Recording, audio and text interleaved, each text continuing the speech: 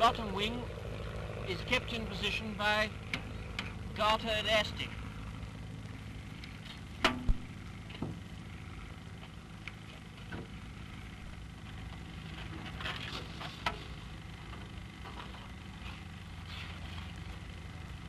The engine is started up on an accumulator which is plugged into the fuselage and when the engine is warmed up it is then switched on to a pocket flash lamp battery which weighs about four ounces.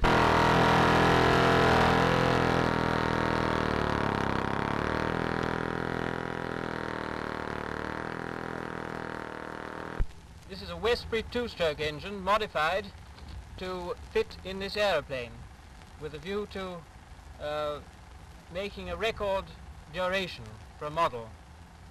It's a 30cc two-stroke engine and has a small float control carburetor